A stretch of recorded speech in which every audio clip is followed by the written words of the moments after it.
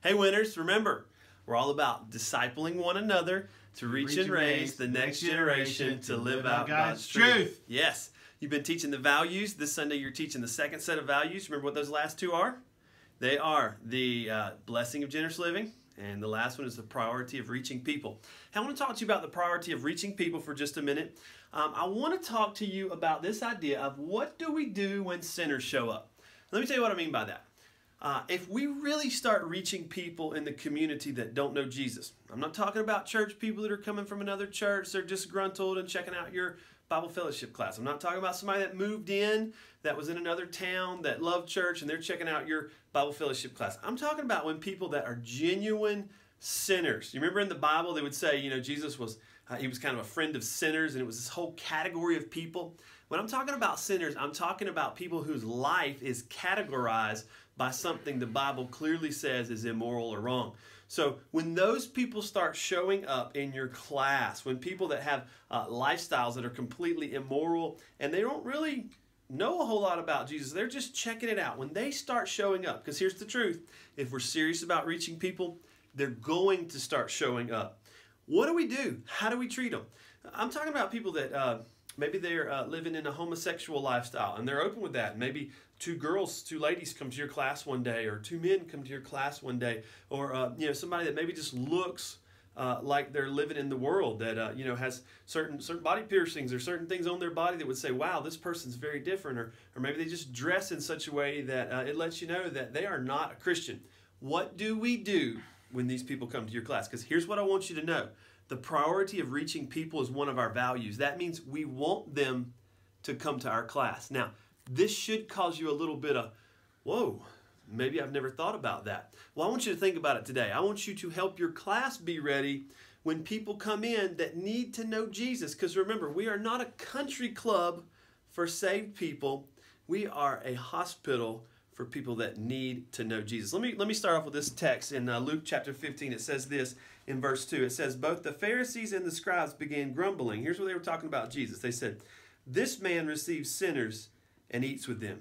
Then he told this parable, saying, what, Who among you has a hundred sheep and has lost one of them, does not leave the 99 in the open pasture to go find the one which is lost until he finds it. So Jesus was known by those people he was around as a guy who was friend a friend of sinners. Now, most of us that grew up in a church setting, in a church world, sinners kind of make us nervous. I mean, you know, real sinners, people that, that talk differently, people that have uh, foul language or have a lifestyle that is, is just uh, completely away from God. Well, we want them to come to our class. So how do we respond? Well, here's here's some things I want to tell you that might help you when these folks come to your class. And again, let me say this. Be ready for them to come to your class. We want them to come to your class. We want them to experience the joy of authentic community and the power of God's word. So here's a few things. First of all, be kind. No, really, be kind. When they come in your class, don't be like, "Oh, look who's here."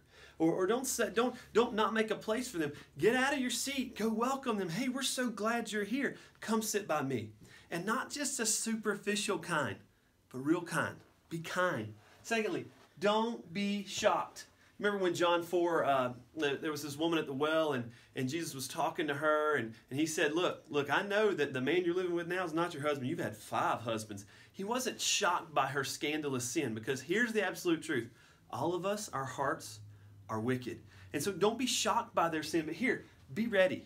Be ready. Know that people might sin a little different than you and understand that their lives might be wrecked with sin and they need Jesus, but they don't know they need Jesus yet. So you need to just be, uh, not be shocked and not come off in a way that makes them feel like they're some kind of three headed monster, okay? So don't be shocked. Be ready. Number three, be interested.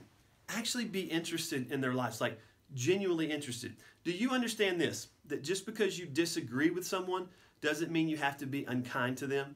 Just because you disagree with someone doesn't mean you have to necessarily dislike them. Because remember, when you look into people's eyes, you can see the image of God in them, that God's image is in them and God loves them. So, so genuinely be interested in their life. Find some common ground. I remember when I was in Bible college, they taught us this uh, little acronym that helped you start a conversation with anybody. It was FIRE.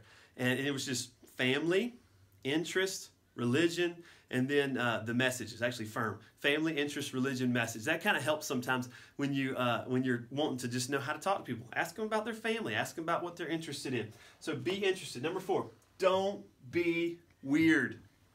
You know what this means? Just, just don't be weird. You know, these people are different. Every time you're around somebody that's different, you, you have a natural ability to just kind of almost be fearful or uh, think somehow their sin's going to infect you. Listen, I got some bad news for you. You're already infected. You're already a sinner. And so we have the cure. So, so don't be weird around these people. Just be friendly, be kind. Invite them into your class and part of your fellowship. Don't be weird. And last, be honest. Finally, we want to say speak the truth in love. Our, our goal here is not to uh, affirm someone's sinful lifestyle. Remember what Jesus said to the woman at the well? He said, uh, You've heard about the Messiah. I who speak to you am he. And then he told this woman something. He said, Go and sin no more. Something about the way Jesus interacted with this woman made her feel extremely loved. And at the same time, Jesus told the truth to her. So, our goal is not to be offensive in the way we care about people, but our goal is to uh, let the message speak, let Jesus speak. Leave the difficult um, problem of sharing a hard truth on Jesus. Share the scripture with them. Say, hey, this is what the Bible says. Because here's the truth if they're a sinner, they need Jesus. That's why they're there, they're searching. You found Jesus. You too were once lost, and somebody was kind to you. Somebody wasn't weird. Somebody wasn't shocked. Someone was interested, and they told you the truth in love. Listen, people need Jesus, and it's our goal in these Bible fellowship classes to give them Jesus. So expect them to come. Be ready. They might come this Sunday. Are you ready for them? Hey, I want to tell you one other thing as uh, we close this video. Um, some of you are looking for opportunities to disciple one another, to reach and raise the next generation, to live out God's truth. There is an opportunity in our sports ministry. Uh, Brother Andrew Sutherland uh, wanted to let all of you know that you have an opportunity to, uh, to coach as a coach or to be a referee in our sports ministry. And we have so many people that come to this ministry that aren't part of Black Blackshear Place, that don't know Jesus. Be a great opportunity for you to serve. I'm going to put his email uh, in, in this email I'm sending out to you guys in this link.